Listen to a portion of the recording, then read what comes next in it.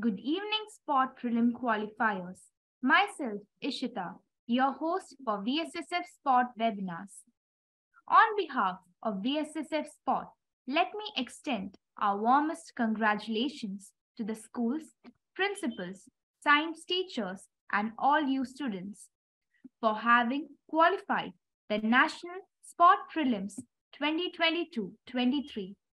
The extra time, effort, and hard work that you put in has paid off, and you could be delighted of the fact that you are one amongst the top science talents shortlisted from across the country.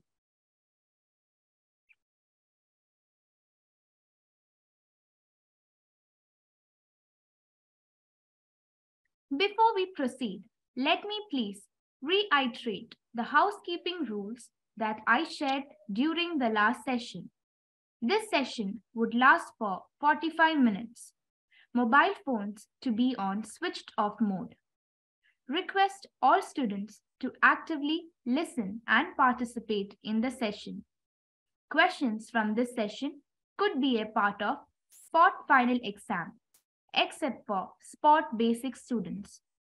Please do not doodle on the screen, chat, nor spam.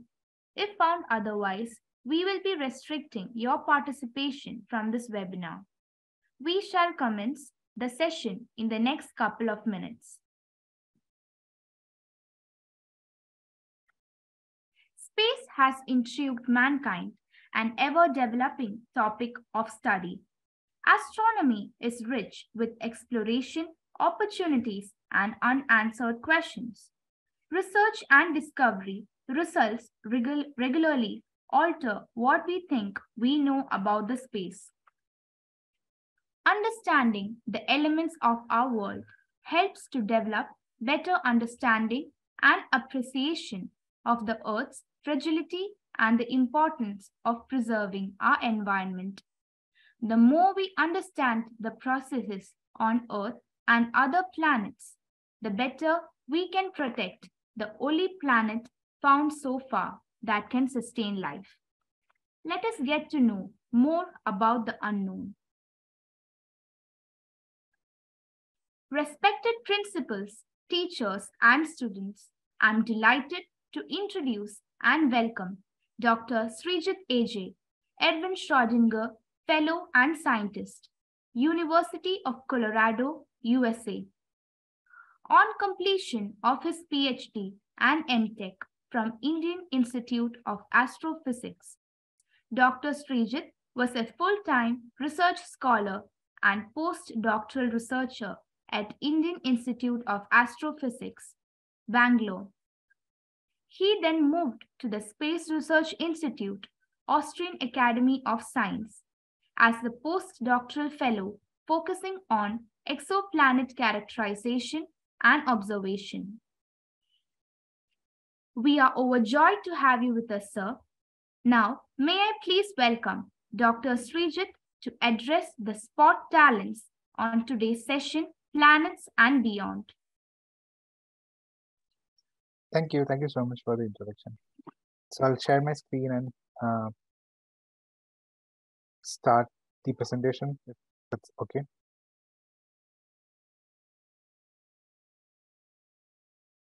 Yes, sir.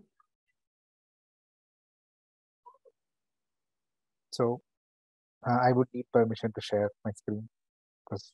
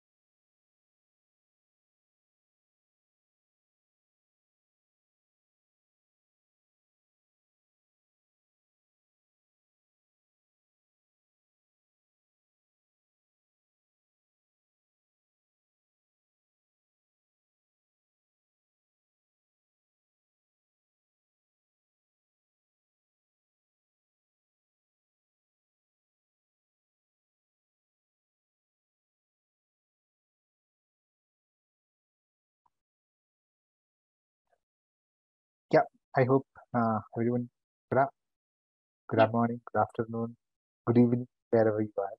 I hope you can see my screen properly. And um, so I would like to start off with the question of whether how important it is to understand the scale of things. So when we look at this photograph, we normally assume that the, the aeroplanes are this big that there are like hundreds of humans in there. But when we look at it much more closer and we have a context of things, we understand that this was like an extremely small aircraft, which is a model toy aircraft. So what I would like to bring in point of view that things which we see or things we understand from our surrounding, they are most we can only understand the size and scale of things based on some reference point that we understand. So, for example, this image was taken by spacecraft, like when it was flowing past. As you can see, the rings of Jupiter and the pale blue dot we see here is actually the Earth. The Earth as viewed from really far off. So, in order to better understand this, I would like to take you on a journey from from Earth to Astro. So, we are starting from Rome. Sorry, we are starting from Venice, and the circles that these people are holding is one meter in diameter. So, that's going to be our dimension of scale. So, we are going to start from one meter, and in each step, we are going to be 10 times bigger. So now the people, the, the people who are moving around it, so people who are standing and watching this, they are at 10 meters. So that's like 10 times one meter. So as we move out, we are moving 10 times each time. And with each step, we are moving out from our world, that is Earth, into the into, into the space to see that how big that is. So, so now we are at 100 meters. So that covers the entire city center of that part. 1000 meters covers most of the city's inner circle.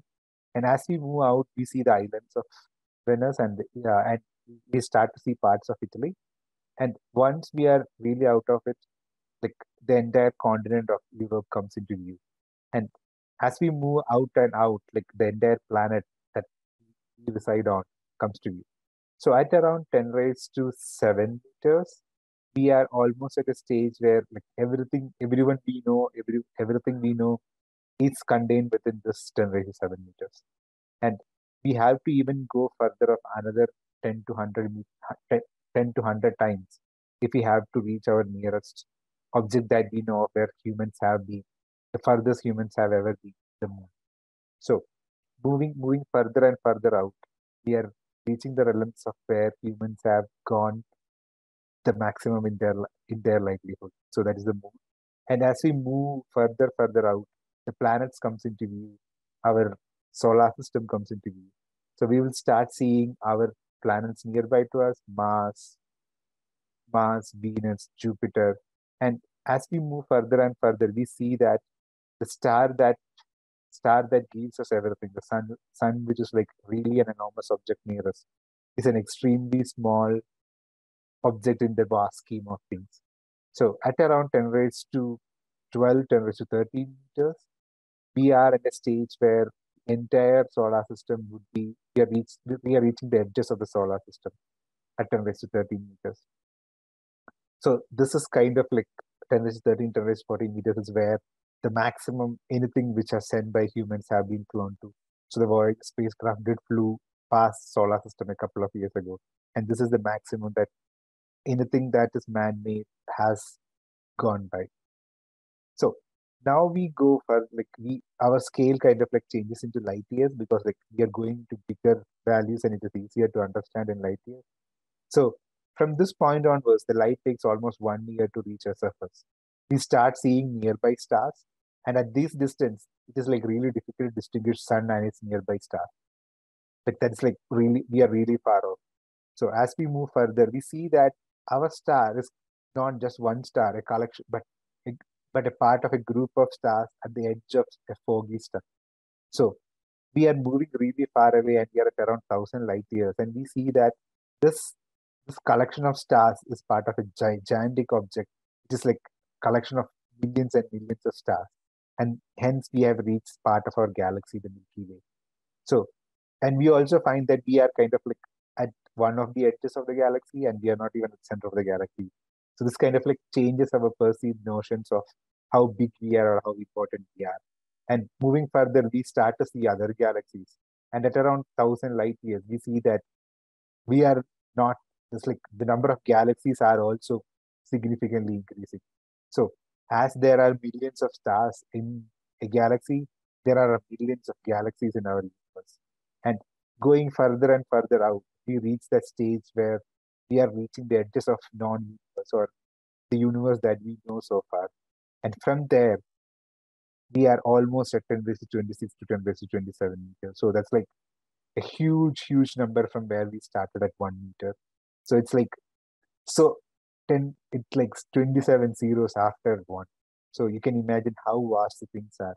And from there, at these grand, vast image of where all the galaxies are bundled up together is kind of like the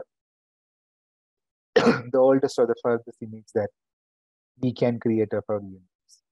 And from there, we kind of like are planning to go back into where we are and how we came about this. So to understand planets and exoplanets, like first, I would like to just give you a brief introduction of astronomy and how astronomy started. So, so astronomy started basically. So if you imagine this, people who live long back, our ancient ancient human beings, like they would have looked up and see that there was different things changing.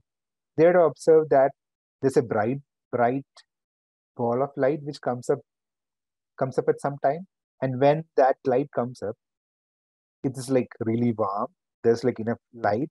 And when it goes goes away there is another ball of light that comes up which is like fainter which is cooler so they would have divided things into day and night based on that they would have also noticed that at when when the night time comes like there are multiple small stars in the sky, small things in the sky, and these would these would they would have associated them with different shapes.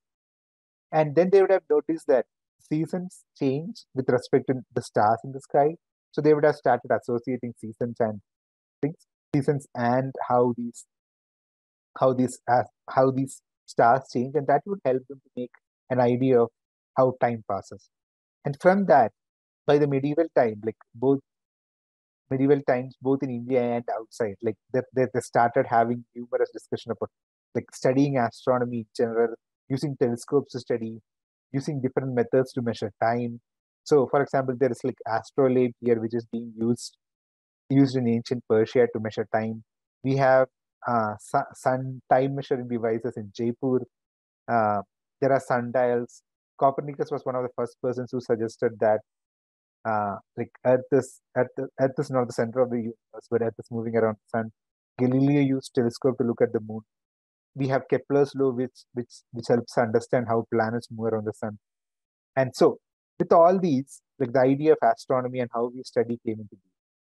So, the basic principle what we are looking at is light. So we are our aim is to so what we can see from these objects is light, and from this light we try to understand these objects so depending upon the color of light, I don't know whether you're aware of what a prism is. So prism is a device which will split the light into different colors or wavelengths. So for example, if you if you put a prism on the sunlight, we can see the rainbow. So depending upon, but but there are colors which are further from here as well, which we can't see. So colors beyond here, we have ultraviolet and other other radiations here, and we also have infrared. That's like beyond red and other colors here. So by splitting a light, we can see the colors, and then with that, we can study what are the properties of these objects, whether they are stars, galaxies, planets, etc. So this is because any object that that that has like everything, including us, we all emit some form of light. So and the, the light, the color of the light that we emit depends upon what temperature we are. So the hotter we are, we will be emitting temperatures which are bluer in color. So for example, if you have looked at the gas gas light, the, the part where it glows the hotter is more bluer and where the temperature is less is more redder. So blue is more hotter than red. And if you go further, ultraviolet will be more hot. Ultraviolet is more hot than blue. X-rays are much more hotter than ultraviolet. Gamma rays are much more hotter. And if you go in the other direction, infrared will be cooler, etc., etc. So this gives us an idea about what the temperature of the object is by looking at the color of the object.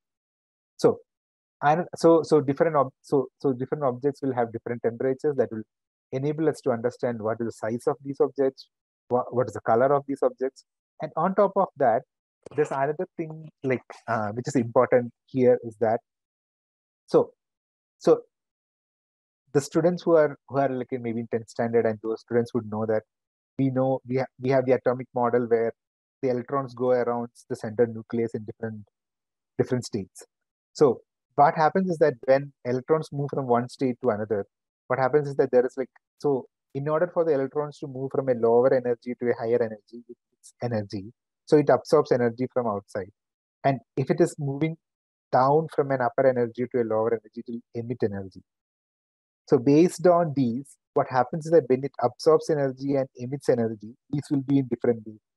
Because ener- as, as we saw before, energy or temperature is equivalent to light and wavelength. So so depending upon these, like whether whether an element is like whether an electron is going in one direction or the other, we'll be able to know. And this depends on the type of the element. So different elements will have different energies when it goes from one state to another. So because of that, by doing spectroscopy or by looking at this splitting of light into different colors and looking at them, we will be able to see what all elements are there in that, uh, or what are the elements in that particular object that we are, if we are looking at a star, we'll understand whether which elements are there. If you're looking at a planet or an atmosphere of a planet, we'll know which all elements or molecules are there. So that's what we do. Another thing which you have to understand now before we go into the details is something called as Doppler effect. Doppler effect is an easy, easy thing to understand. So if you have, if you stand on a railway platform for a train to train to come and the train passes through you, you will you will and train this train has its horn on. You will see that as it comes by, the the the, the sound of the horn changes as the train passes in front of you. It is the same thing with respect to an ambulance. If you're standing on the road and an ambulance or a police vehicle with siren passes through, as the vehicle comes closer to you, the the, the, the, the sound changes and then it changes as it goes away. This effect of shift and change of frequency, this is because the sound waves, the frequency changes. And this is this principle is known as Doppler effect. And this is not just restricted to sound. It can happen also for light. So what happens is that if there is an object which is moving moving closer to you, the object will be blue shifted because it's like closer to the so it's so it's, it's going to be shorter wavelength. And if it is moving away from you, it will be red shifted because it has longer wavelengths. So similar to the Doppler. So Doppler effect is observable not on sound, not only on sound, but also on light. So how do we observe these objects? So we use telescopes to observe. So there are two kind of uh, major telescope that people use. One is reflector and uh, one is refractor. Refractor telescopes are the ones which you are not you would normally associate what a telescope would look like, where you look through an a small eyepiece and there are some lenses which kind of like focuses the light and you can see the object bigger. But most of the uh, actual astronomy that happens use reflector telescopes because like it's easier to build bigger mirrors than bigger lenses because it is difficult to build bigger lenses. So we usually build bigger mirrors and bigger telescope with that and use reflector telescopes to understand that. So on, on the topic, and you, you also know that can't observe all wavelengths from the ground.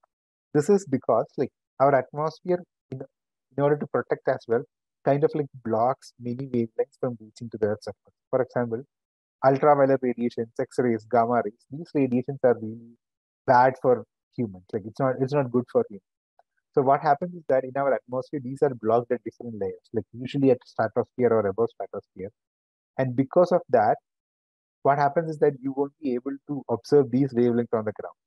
So what you will be able to observe on the ground is visible radiation. That is like whatever we can see with our eye.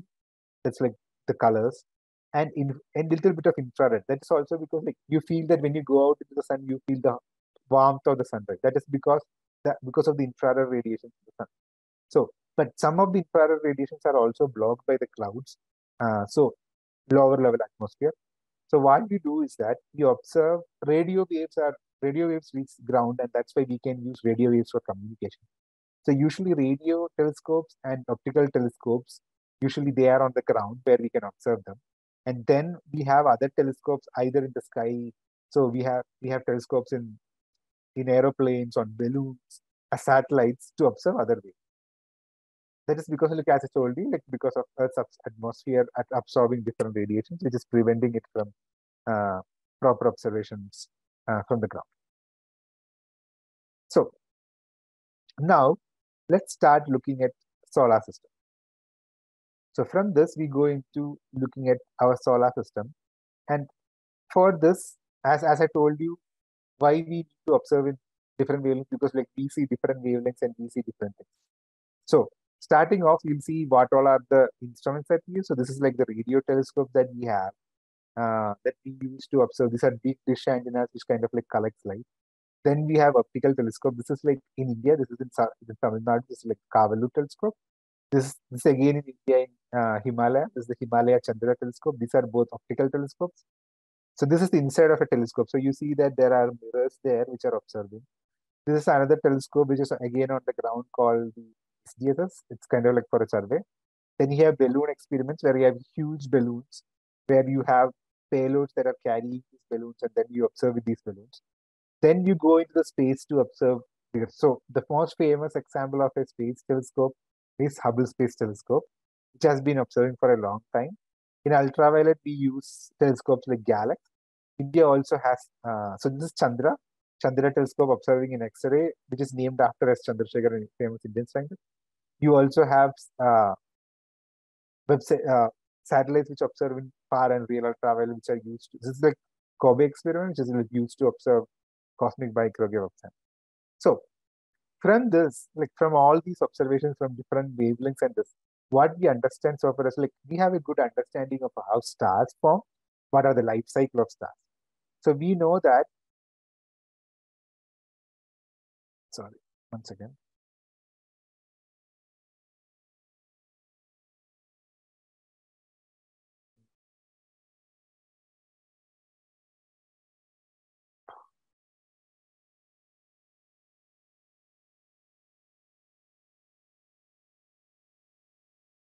Uh, give me a moment. Sorry for that.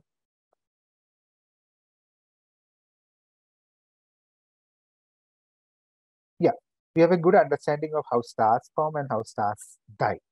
So we know that stars, any type of stars are formed from something known as protostar, which are formed from some stellar nebulae, like where there is a lot of gas, dust, and a lot of particles.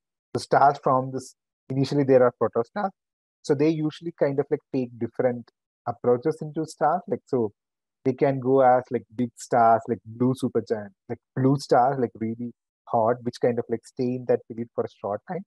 Or they can go into another another route where they're like sun-like stars and then they slowly die down. So then coming back to solar system, which is like our solar system. So if we we understand great deal about our solar system as well. And as you know, the the source of all energy and the thing that is holding our solar systems together is the sun, our sun. So a close look at the sun reveals that there are like lot of spicules, a lot of uh, solar activity, solar spots, things happening on the sun. And as we move away from the sun, the sun slowly change into that familiar ball of light that we know, like the faint yellowish, orangish, faint color thing that we see which gives us warmth and light. And we reach the first planet, Mercury, which doesn't have any atmosphere. And hence you can see that there are like craters on the surface of Mercury. So Mercury, Mercury revolves really close to the sun, and because of that, it is like extremely inhospitable. And as you move away, we reach Venus, which can be considered a twin of Earth because of the size of Venus. But things are extremely dif different in Venus. Like Venus, Venus is where acid rains. There is like methane gas everywhere. So it, it is it is how if things so even though it is like really similar to Earth, it's like really difficult different because because of how things change in the past there. So a small change could have led Earth to be something like Venus. So I, I I I don't know whether you have noticed, but there was a comet which passed by, and as we move further down, we see Moon, our our own our our our own satellite, and again, because it doesn't have an atmosphere, it is kind of like impacted by a lot of crater. And as we move past moon, we slowly, uh, sorry, sorry, uh, we reach Earth, our own planet. Uh, the pay, it's, it's also called the play blue dot because like it's like blue in color. We see the planets it's kind of like an optimum distance where water can exist in liquid form, which is enabling life on these planets.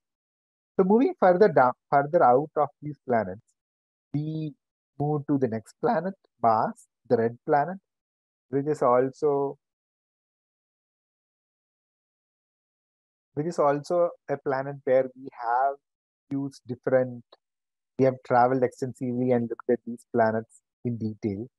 Uh, we have studied these planets, and moving further, we see the asteroid belt, and we start to see bigger planets. So we start seeing moons of Jupiter, and then Jupiter comes into view. So the planets which we saw till Mars are kind of considered are planets which are rocky planets. So they have a rocky surface. They have like rock on the surface. Like, so these planets are called rocky planets because like they have a rocky surface and then there is like an atmosphere around it, even even though it's like really small for Mercury. But now the planets that we see are going to be gas giants and icy worlds. So gas giants are planets where it's like entirely gas. So you have to go into the core of the planet if you have to actually see if they have a rock surface or so they are like huge planets which are like just filled with gas. So we have then after we further go down, we will also see icy planets where it's like extremely cold that everything is in the form of ice. So then we start seeing Saturn. Saturn comes into view and the rings of the Saturn. And then as we move further down, we see Uranus. And if we move further, we see Neptune. And then we start seeing Pluto and Pluto's other planets. And by the end of it, by the edge of it, we start seeing the entire. So what we see uh, where, where the comets come from, that's the cloud, and then we slowly. So this this is something called the edge of solar system. It's what we call the edge of solar system. It's called Oort cloud. So it is where we assume most of our comets originate. So, and from there, we we are we are really good at observing this sun is kind of like a well-studied object and as you can see that sun looks completely different in different wavelengths this is because by observing in different wavelengths we'll be able to observe different parts of the sun different layers of the sun and different activities in the sun so so this is like different observations of the sun in different wavelengths and as you can see the activities of the sun are like really prominent in some wavelengths it is less prominent in other wavelengths so so the orange is something, the image that we normally see of the sun. That, that's similar to the one which we can see with our eyes. And as you go into different wavelengths, you will see that you, you probe different parts of the sun and hence you study different parts of the sun. So as I told you, Mars is one of the objects that we have studied in detail. And that is because of a lot of rovers that we have. So this kind of like an image of Mars, image of image that was taken by one of the rovers, the Mars selfie with the rover itself. And this is one example of this kind of like the first self-propelled flight from Mars. So just like done 2020, 2020. So where uh, scientists launched a small drone-like object from the surface of Mars and they were able to bring it down. As you can see, kind of like flew from the surface of the Mars and then it came. down. So so, so far with our missions, like from different space agencies, like all over the world, including NASA, ESA, ISRO, uh, Japanese space agency, Russian, uh, Chinese, like all of these people involved, like we have, we have, we have studied the sun. We have been, we have kind of like passed through. It's a call that there's a mission called Parker Solar Probe, which kind of like went through really close to the sun. But in principle, we we could say that we went inside the sun, but so we have uh, we have missions to the Mercury, Venus, Earth, Mars, Jupiter, moons of Jupiter, uh, Saturn, moons of Saturn, Uranus, Neptune, Pluto. We have been to uh, asteroids. We have been to comets, and we have also just started going beyond our solar system. So, from all these observations so far, like we have a we have a really good understanding of how our solar system is. We understand that the inside of the solar system, like close to the sun, close to the sun, we have the rocky planets, and as we move away, we have the gas giants and the icy worlds. So we know that this is how our solar system is. Like we know what happens in our solar system. We understand most of the most of the planets. We understand what all process happens in these planets. And from our observations so far, we also, as I told you before, we also understand how stars forms and how they evolve. So as I told you, stars usually forms from planetary nebulae. So from star forming nebulae, from there they can usually take two states. So as if, if they're sun-like stars, from a protostar they become a sun-like star and they, they remain as sun-like star for billions of years. So they remain in that state for billions of years. And then after that, what happens is that the process which holds the star do not hold anymore and they slowly start to expand and become something known as a red giant. So once they become red giant, what happens is that they're like really huge. For example, star known as Betelgeuse, uh, it's, it's one of the stars in the Orion Nebula. Uh, it's it's Kartika in local uh, local Indian languages. In most of the local Indian languages, called Kart Kartik or Kartika. So it's kind of like it's it's a red giant star, and it would we would be able to see the explosion of that star anytime soon. It's a red supergiant star. So what happens is that once it's a red giant star, what happens is that after some time it won't be able to hold anymore, and what happens is that slowly the outer outer shell is kind of like goes away for sun-like stars, and it forms something known as planetary nebula. So inside of the star remains as a white dwarf, and it remains like white dwarfs for a very, very, very, very, very long time. So whatever remains of this planetary nebula kind of like goes into formation of new stars. In another case, when it is not like a sun-like star and it's like a massive star, like for example, a blue star or a white star, like it's like really big. So what happens that when they form a massive star, because they are really huge, they are less stable. So they only remain in that state for millions of years. And after that, they change into a red supergiant. And usually because they are so big, and when when they are not able to hold anymore, they kind of like explode, and that explosion turns into a supernova. So the inside of the star in these cases usually turns into either neutron stars or black holes. So because they because the gravity is so strong that it's like really hard for things to escape. So if it is like really strong, they'll turn into black hole. But if it's like in between black, they can change into a neutron star also. And whatever remaining explosion that comes out of the supernova again leads to formation of new stars and star forming. So from our understanding, so this is the normal periodic table that the, the universe that what are the elements that we have discovered. But for astronomers, it's kind of like slightly skewed because the majority of majority of the element elements that we see in our in our universe is hydrogen because stars are made up of hydrogen and a little bit of helium. So the major components are hydrogen and helium, and then we see all other elements, little bit of all other elements which are formed during different process stars. So everything except for hydrogen and helium, we call them metals. Generally, we call all of them other than hydrogen and helium metals. And if I speak, say talk, we found metals or we are talking about metals, it would include anything other than hydrogen and helium, all the elements other than hydrogen. So how do how do how do you look at stars? So so this is this is the, this is the, like the most easiest object that we can look at the night sky and see. This is the Orion Nebula. So where you can see the or belt of Orion and the tail of Orion. You see the you see the, three stars here, the two stars here. Orion Nebula is one of the easiest object that you can look at the night sky and identify. And as you see here, there's a small, small kind of like cloudy, hazy thing. It's like visible with naked eye. If if if it's like really clear, you can see it as a small cloud-like object. And if you zoom in there, you see that it's a huge star-forming region called as Orion Nebula.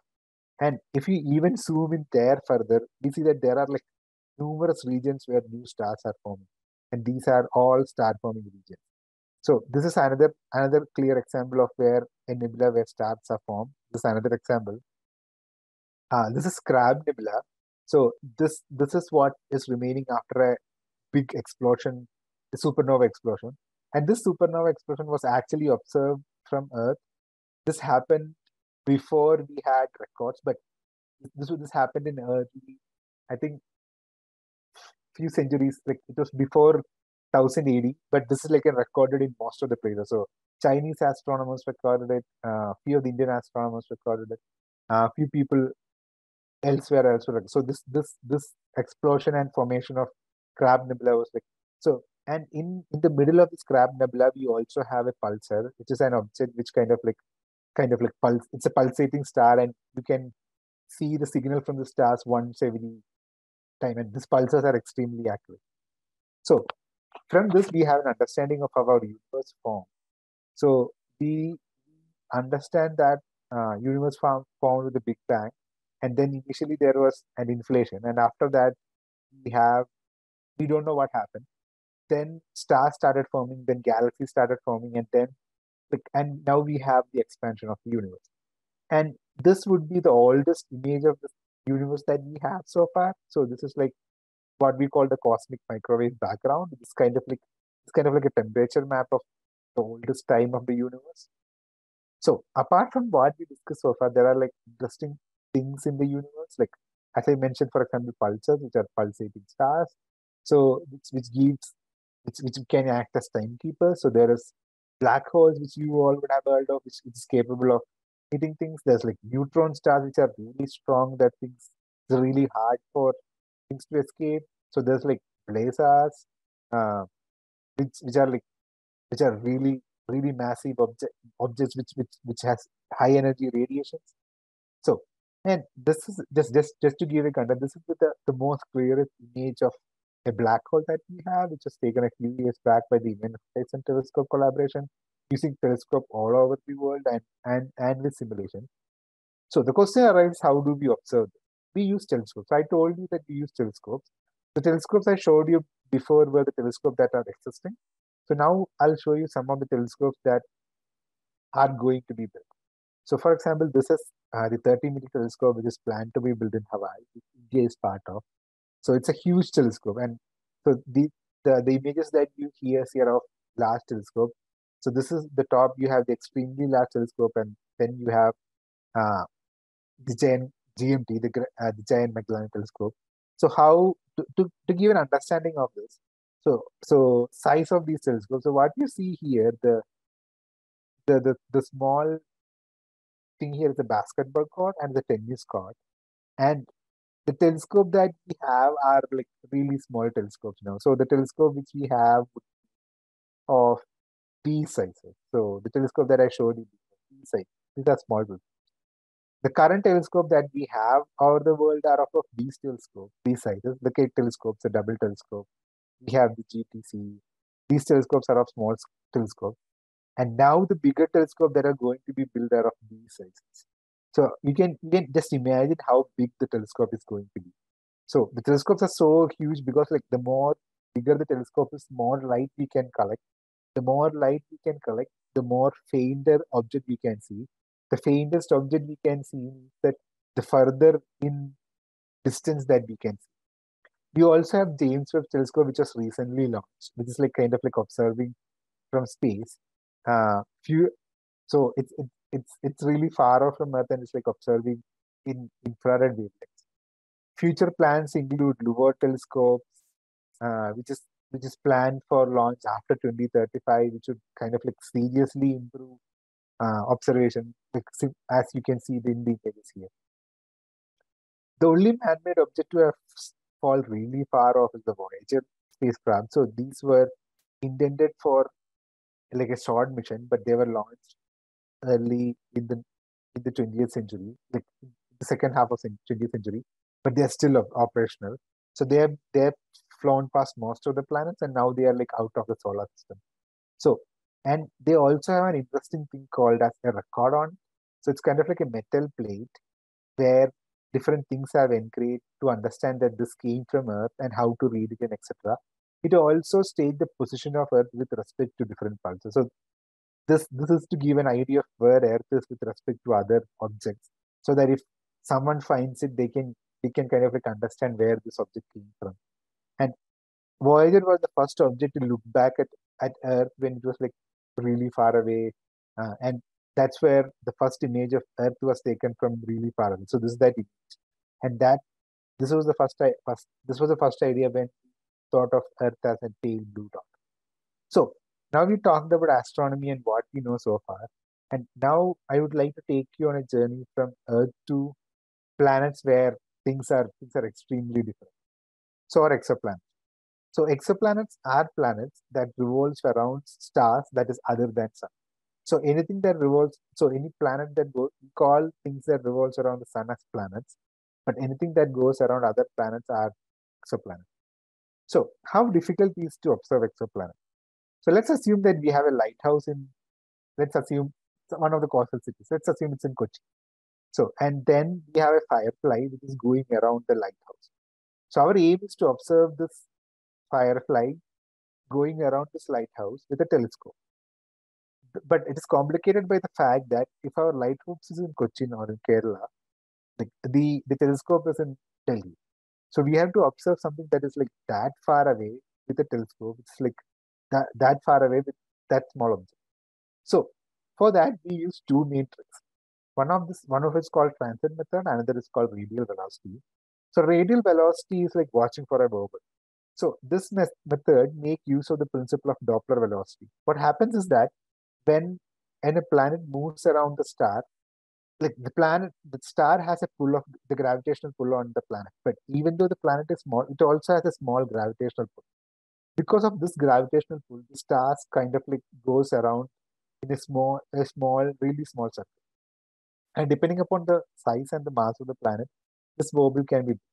So, and if we look, so as I told you, what happens that, so if, if you look at this properly, so if, if, if there is a star which is going around some object and we are observing the star, and if it is in this field of view, the star will be moving away and towards us, right? Because it's going around in a small circle.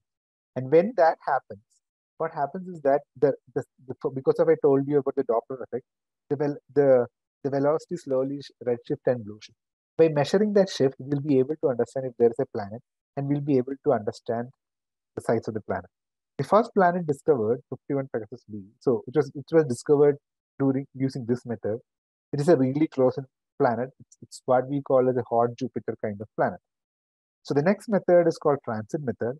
The transit method is kind of like we are looking for shadows.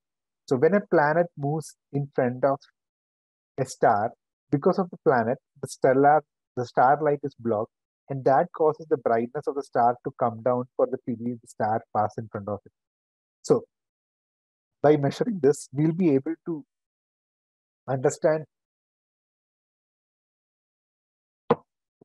understand the radius of the radius of the planet and how much light is being lost. So that gives us an idea about the size of the planet. So the first transiting planet to be discovered was ST20945b. Uh, then we also have so so but the thing we have to like the smaller the planet, the radius is the the dip in light is going to be really low. So for example, this is kind of like a Jupiter-sized planet. So that causes more than one percentage of the stellar light to drop.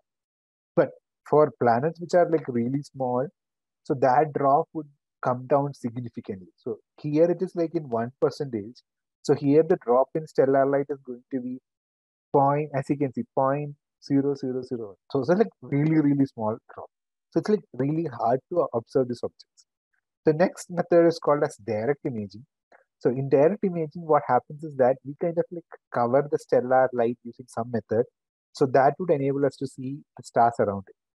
For doing that, we use something known as we use a technique called as coronagraphy. So how does coronagraphy work? So assume that there is a star and there are like planets going around that star. So there's like two two planets going around that star. So the stellar light from this planet comes to, towards Earth. We, it is like really far. The star is really small. We can't see it properly. So our telescopes collect the starlight and then we pass it through an object known as stellar light. Sorry, uh, known as coronagraph.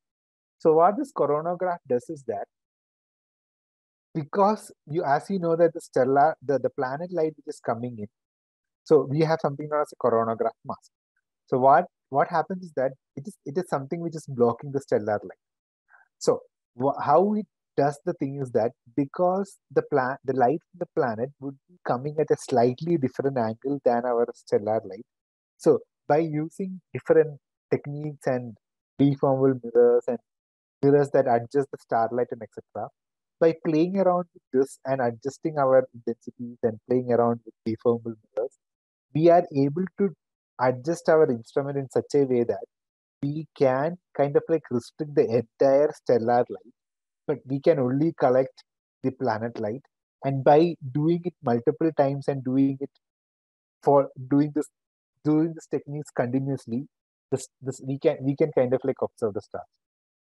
So slowly by slowly by doing it properly, the stars come into view. And and with this method, we can see the stars. And then if we see the stars, we can kind of like use use some method to observe the spectra of the stars.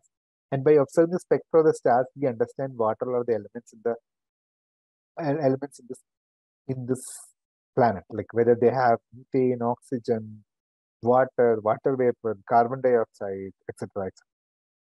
So, so that was direct imaging. So there is also a method called micro lensing. So it make use of the principle of uh, uh, what you call as like space-time continuum. So, for example, if there is an object, if there's a huge, huge object which ha which has a huge background object, and for example, there is an object moving with star.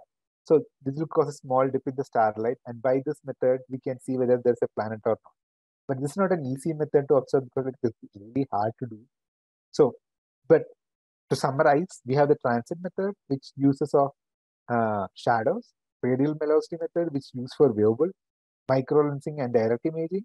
Uh, so in some cases, transit can also lead to the presence of another star because like based on transit, we can calculate the period of period of a planet. And then we find that the period is not what we expect it to have. That would indicate that there may be some other planet that is also affecting the period of this planet, and hence we can use that to find new planets. So, so so far, how many exoplanets have we discovered? So, so the first exoplanet or Jupiter kind of objects was like like we we started knowing that there are these planets around, but the first confirmed exoplanet stars was Trigonometry 1995.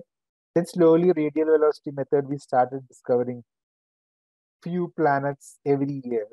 Uh, then transiting planets discovered, microlensing planets discovered.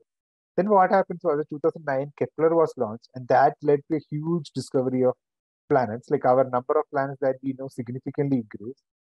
Then, then what happens? 2018, TESS telescope was launched to again find more exoplanets. That kind of like increase the number of planets. And as you can see, because of these methods, like now we are finding more planets with transit methods than radial velocity methods, even though the radial velocity was the first method to discover it.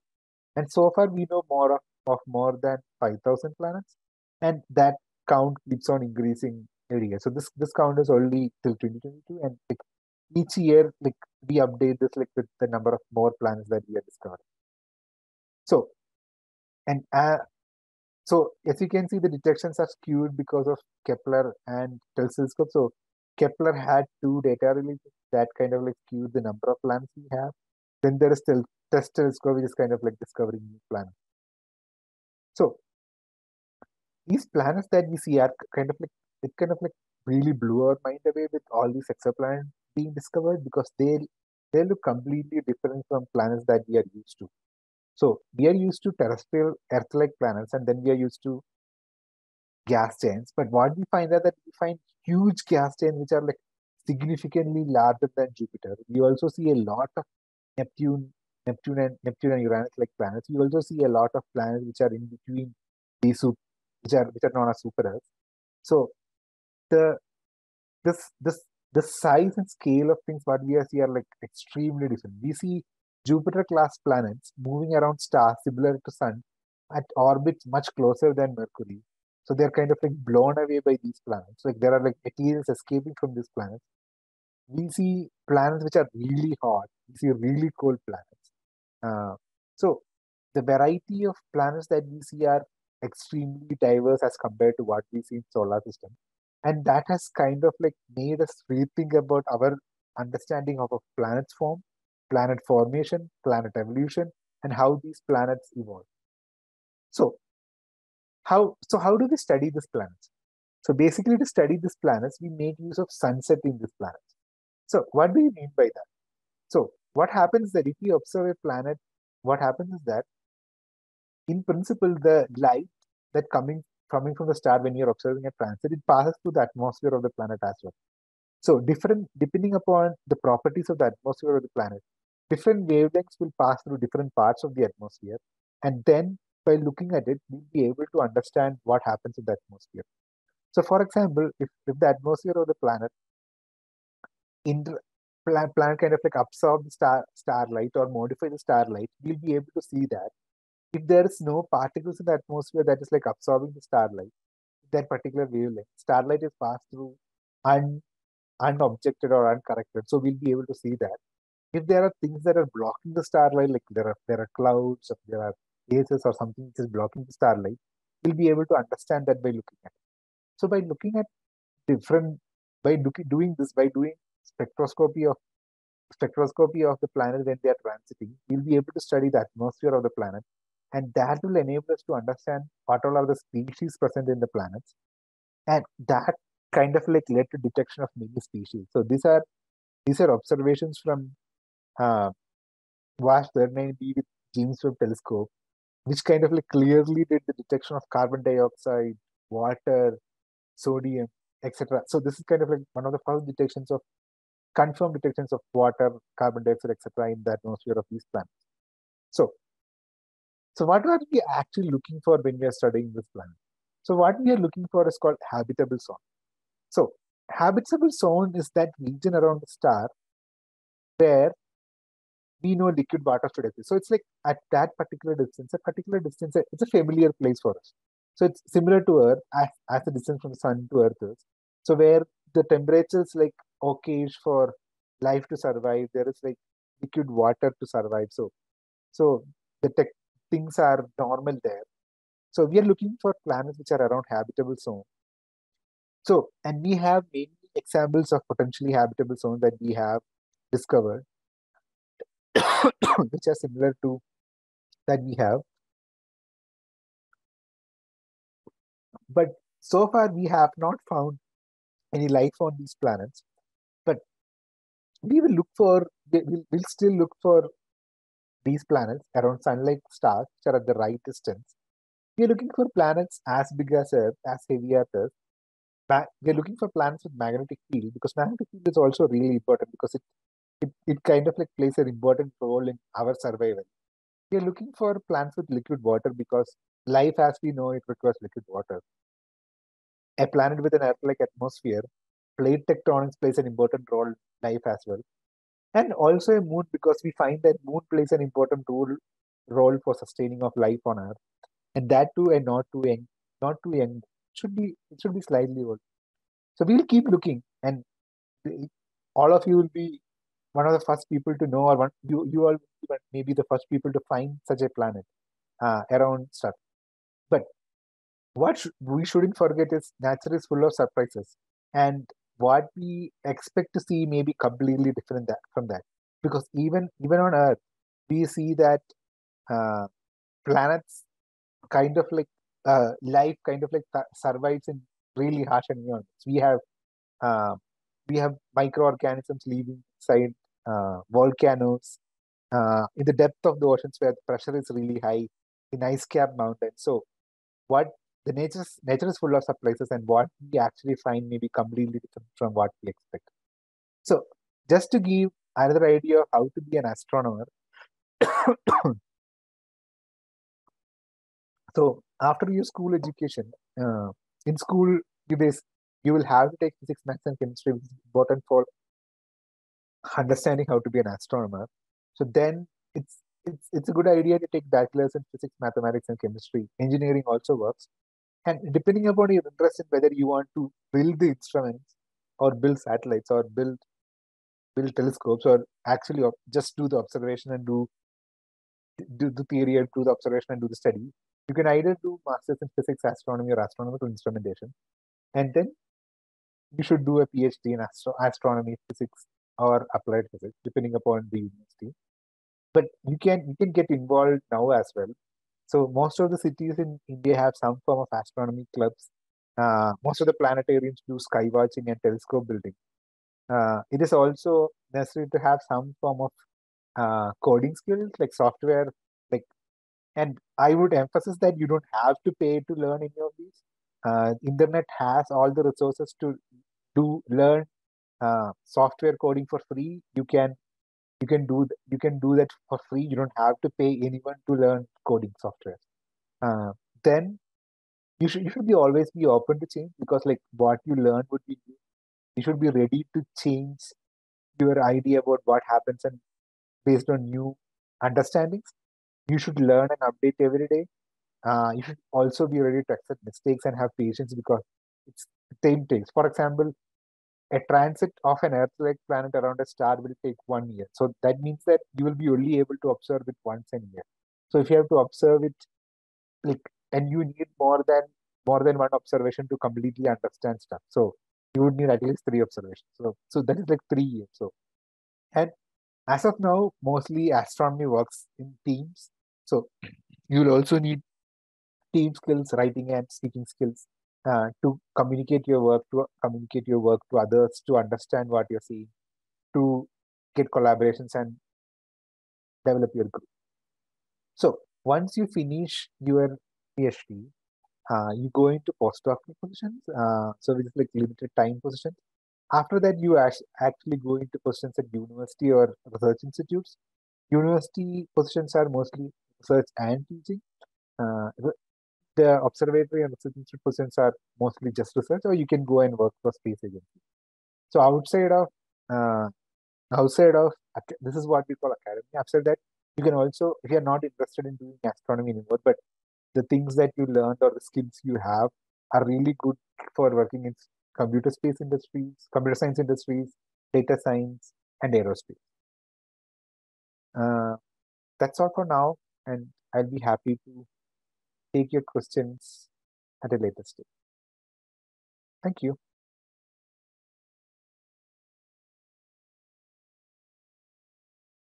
Thank you for the wonderful, elaborate session, sir, where you spoke from the scale of universe to solar system to planets, variety and diversity of exoplanets. Next is the guidelines of the Q&A session on planets and exoplanets. Please pay attention on these important points. Q&A session is scheduled at 8 o'clock p.m. on 3rd of March 2023. Dr. Sreejith will come live to answer your questions. Most of you may have questions, but limited time restricts our speaker from taking all the questions. VSSF will shortlist few relevant and contextual questions that we receive. Moreover, questions that are similar in nature have been clubbed to a single question. Our endeavor is to ensure that you get better clarity on the topic. Your questions should reach us latest by 12 p.m. on 3rd March 2023. Only one question per student will be taken. Please post your questions on the attached Google link. Thank you, sir, principals, coordinators, and students. We shall see you at 8 p.m. Indian time on 3rd March 2023.